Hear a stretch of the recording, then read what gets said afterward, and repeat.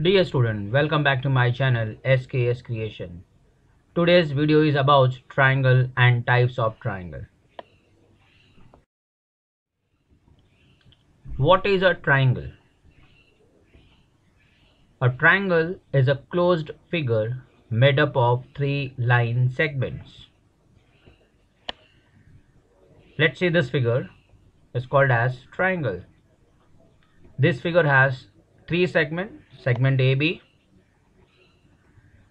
segment BC and segment AC. This figure is made up of three segments and it's closed figure, hence it is called as triangle. So here seg AB, seg BC and seg AC are the three line segments. This figure has three angles that is angle BAC in short it's angle A corner A. Angle ABC in short it is called as angle B. I'm talking about corner B. Angle ACB short name is angle C. That is corner C.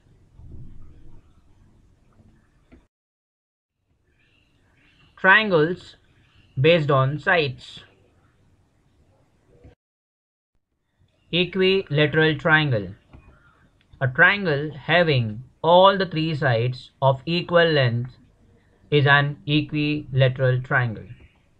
Look at this triangle. Here seg AB is 6 centimeter, seg BC is 6 centimeter, seg AC is 6 centimeter.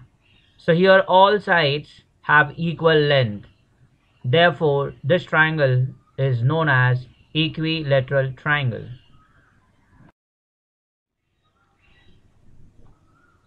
Isosceles triangle.